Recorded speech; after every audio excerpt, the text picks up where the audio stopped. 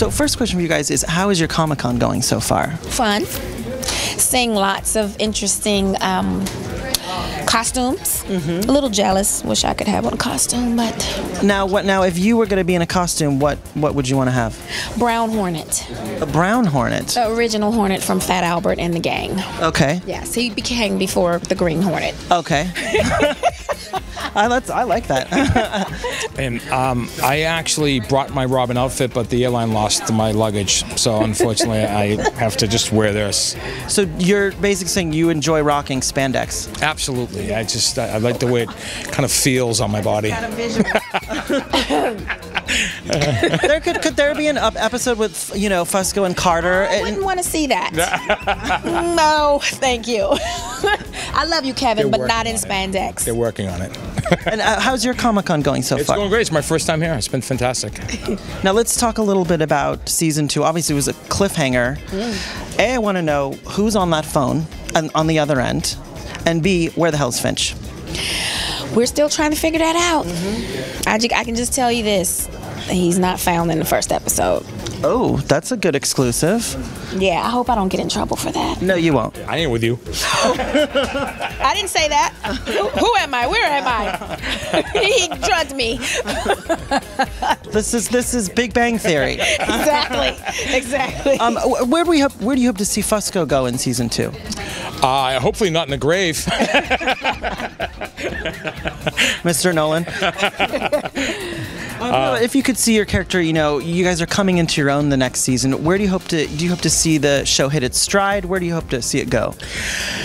you know, it, it's really. I mean, uh, Jonah and Greg Plageman and Jonah Nolan, who you know, they just do such a remarkable job. All the writers, we, we've, we've been blessed with a great writing staff, and and um, you know, we all throw our little ideas out there, but you know, they've they've got a they've got a bigger picture, and we just try to stay true to that.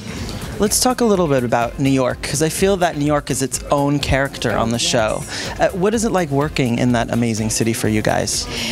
it's good and bad. It's good. It's exciting and it's scary. Oh, I want to know the bad. I want to know the bad. Well, I, that's why I switched it to exciting and scary. Okay. Exciting because you're in the throes, you're in the streets, you feel in the tempo of the city, the pace, the pulse.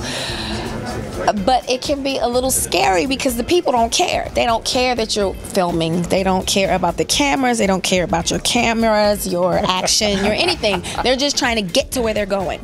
So that can cause a bit of a problem sometimes. But um, you're you're brash. You're sassy. I mean, I'm not a New Yorker though. There's a difference. okay, okay, There's a okay, got it. difference. There's a difference. And you know, I'm usually it, as an actor, you're safe. You know, they stop the people from walking, they stop the traffic, everything is quiet. Uh-huh. Shh. Now, action. And then, but when you're in the streets of New York, all of that is out the window. Okay. All of it. And New York, New York. What I have to do is I have to participate in the scene and then fend off the marriage proposals to Taraji. Because as Wow. we're out in the street, the men are all like, hey, Taraji, hey, hey. I'm like, I'm trying to work here. Come on, back up, fellas. Because they really don't care. It's Yeah. really Care. They don't They don't. care. Like in LA, it's a different animal. They're like, oh, oh, a movie, shh, you know. Mm-hmm. Yeah. But New York, they don't care. And I would hate to be a PA on our set because they have to ward off the people. Uh-huh. And they're like, can you please just wait? And they're like, Mm. screw you, I gotta go to work.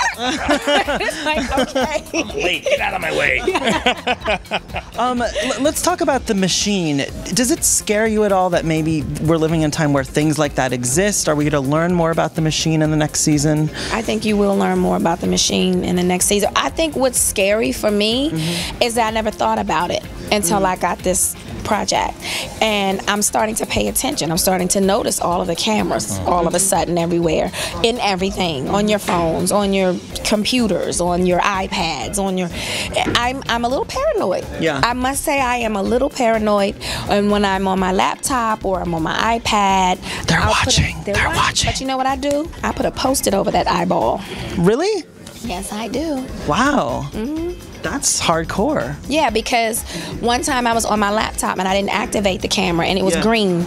I don't know if someone hacked into my, I don't know what happened, but I didn't activate the camera. Okay. That spooked me out. All right. Hey, when, and what are your It's thoughts? It's a futuristic show. It's not so futuristic. I mean, we're, we're learning that. Look, you know, look at the stuff that went on in London with the with the you know with the f- alleged phone tappings and you know, I mean, as we continue down this road, you're going to see it creep more and more into society. Mm-hmm. Or And I think I think people are co- becoming more aware yeah, of it. I think from our show, I Yeah. think that people are becoming more aware of it, and I think that's what the real, you know, one of the real interests in our show is that it's something that is in a part of society, and we've never even looked at the bigger picture until.